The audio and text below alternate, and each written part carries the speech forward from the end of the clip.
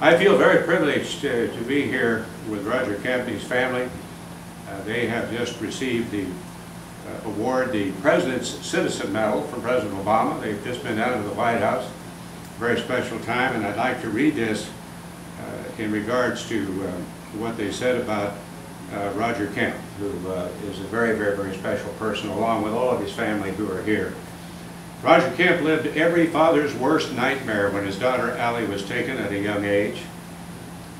Through immeasurable pain and grief, Roger then devoted his energy to building a safer world for future generations.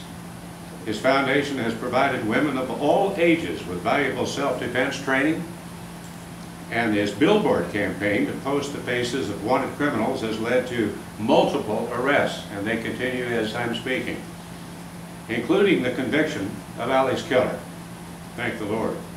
The United States honors Roger Kemp for his unwavering efforts to ensure the safety of his fellow citizens.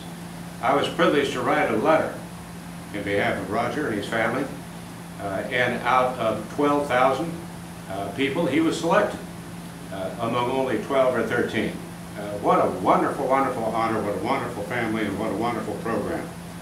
So from that standpoint, if anybody uh, would like to uh, uh, be uh, a part of this effort, uh, what, what, what should they do, Roger?